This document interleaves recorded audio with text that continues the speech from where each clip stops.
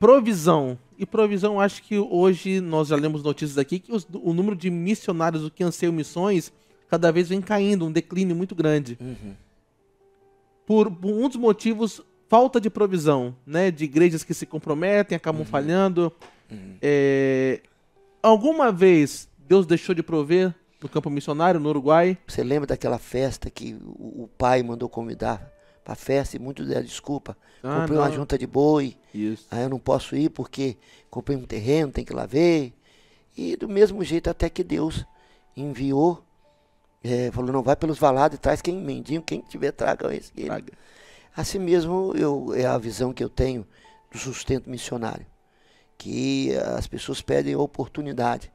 Porque houve também pessoas, é, igrejas de pessoas como é, a Igreja Cristã Filadélfia em Marcílio Noronha, na pessoa do pastor, é, é, pastor Geraldo Casagrande, creio que o pessoal de Vitória conhece, pensa em um homem de Deus extraordinário, extraordinário, ele e sua família, extraordinário.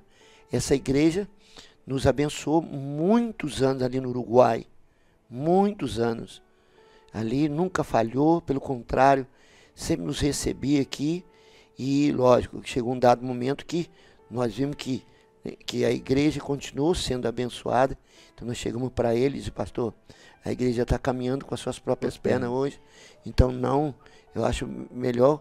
Tinha um casal de missionário, inclusive, que estava, eu acho que no Nordeste, estava indo para outro lugar. Então nós Amém. resolvemos transferir para ele. Mas essa igreja hoje é uma potência, principalmente na área social, mas Deus, ele quando não vem de um lado, como diz Jesus, até dessas pedras Deus pode suscitar filhos a Abraão. Aleluia. Até das pedras, se Deus está no controle, sabe? Deus vai fazer chover maná do céu. Amém.